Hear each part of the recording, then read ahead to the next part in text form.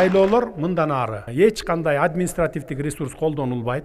Сатып алуу сатуулар болбойт эгерде сатып алып аткан болсо сатып аткан болсо добушун булар мыйзам чегинде жооп берет мыйзамда так жазылып өткөн азыр бүгүнкү күндө биздин действующий мыйзамыбыз бар. Эки жарым жылга чейин соттолуп кетет сатып алган дагы сатып аткан адам дагы кармалса ошондуктан баардык жер жерлердеги күч структураларынын кызматкерлерине биз команда беребиз шайлоодо ушул жагына өтө катуу карагыла деп айыл өкмөттөргө да команда беребиз мындан ары элдин жүрөгү кайсы партияны каалайт кайсы кандидатты президенттикке каалайт только ушул жол менен гана өтөт анткени биз отуз жылда үч жолу революция жасадык үчөө тең ушу шайлоолордун кесепетинен келип чыккан мындан ары алардын катасын кайталабай тарыхтан сабак алып биз түз жол менен гана кетишибиз керек эл каалаган адам шайлоодо өтүш керек. Конституциялык реформаларга барабыз деп долбоорлорубузду даярдадык бир нукка түшүп кетиш үчүн жогорку кеңештен карасак тез болот го деп.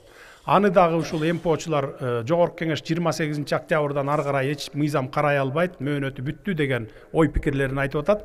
Ошондон улам мен азыр ойлоп турам эгер андай боло турган болсо каршылаштар чыга турган болсо анда конституциялык кеңешме түзүп туруп конституциялык кеңешмеге конституцияны беребиз. Ал жерде бир ошол түзүлөт. Конституциялык кеңешме эл тарабынан мпочуларды да киргизебиз. Кызыктар адамдардын баардыгын киргизели. Анан ал жабык эшик артында эмес күнүгө эртең менентен баштап кечке чейин конституциялык кеңешменин отуруму түз эфирден берилет. Ар бир кыргызстандын жараны көрүп турасыздар аны. Сунуш берсеңиздер болот.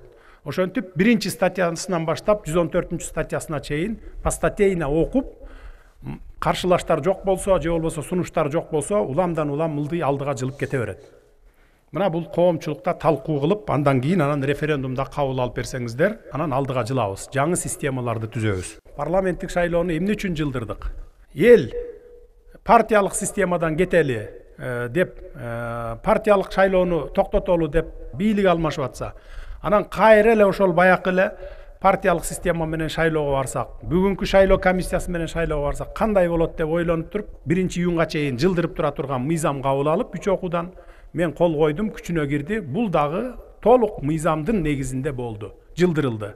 Анткени конституциялык реформаларга барып системаны башкаруу системабызды алмаштырып алып туруп андан кийин анан шайлоо өткөрөлү деп чечтик президенттик шайлоо мына азыркы бүгүнкү конституциянын нормалары менен онунчу январга белгиленген бул сөзсүз түрдө өтөт. Бул толук легитимдүү эч кандай кыйшаюусуз өтүш керек. Бүт дүйнөлүк коомчулук тааныш керек муну. И тааныйт. Анткени бүгүн конституциябыз бар парламентибиз бар өкмөтүбүз бар баардыгы иштеп турат